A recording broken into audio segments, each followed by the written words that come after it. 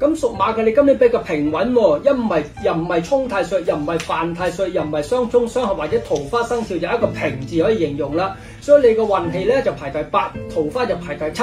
咁排第八又唔係特別衰嘅，因為揀來揀嚟揀嚟揀去就冇乜特別好咁解啫。咁屬馬嘅你今年其實吉星都唔錯嘅，因為有八座，有你地位提升，咁同埋有天解解神逢空化吉，就能化空星之力。同埋屬馬今年就是思想學習投資運，咁投資方面特別要留意啦。因為無論行業平命人，今年運氣都麻麻地，所以新嘅投資唔係好適宜。咁即使你行緊運嘅寒命人，舊有投資可以加大發展。咁今年新起步咧，唔係話好適宜，就寧願等到明年夏天之後你適宜少少啦。反為今年特別你讀書學習，咁如果你學下進修啊，學啲新嘢或者甚至乎興趣嘅嘢，今年其實都係啱嘅。咁尤其是打工嘅你咧，不時都要增值自己，如果唔係就俾社會淘汰㗎啦。咁空星都要留意喎，因為空星係血印，容易手腳損傷。咁但係因為屬馬嘅嚟到龍年咧，又唔係雙刑，又唔係雙沖，咁呢個損傷可能切嘢切親手指啊，行街撞親隻腳嘅啫，就冇乜特嚴重問題出現㗎。咁陽人就要留意啦，陽人有時心情唔好，容易發脾氣，控制唔到自己嘅情緒。